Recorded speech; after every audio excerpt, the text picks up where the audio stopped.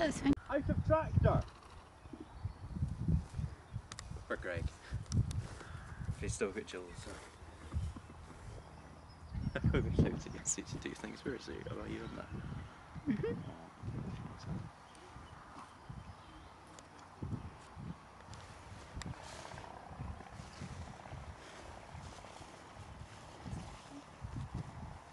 Eh, since it's separated, I can actually tweak it further if you wanted.